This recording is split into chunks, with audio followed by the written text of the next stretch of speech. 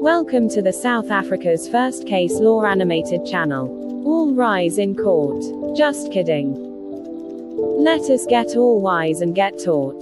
Grab your notebook and pen. As promised, today we are going to look into Maswanganye versus Baloyi case.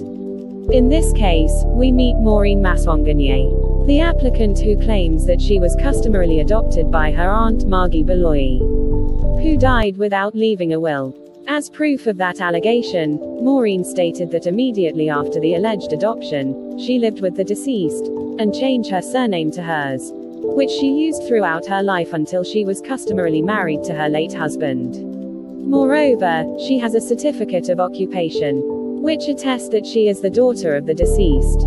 She also submits that she was solely responsible for the care of the deceased, subsequent her marriage. Interestingly, despite the customary adoption, Maureen's bride price was received by her biological parents. The deceased was not married, but had four more sons. Three of them died without children, and the fourth got married twice and left his children from those marriages.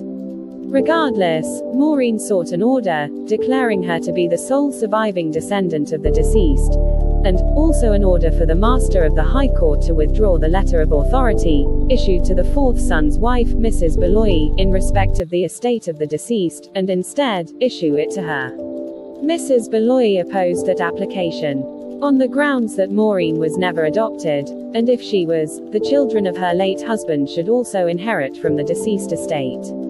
The judge dismissed the application.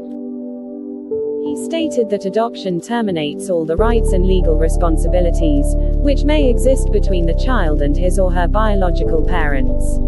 If Maureen was adopted by the deceased, the right to receive bride price would have accrued to the deceased, and not to Maureen's biological parents.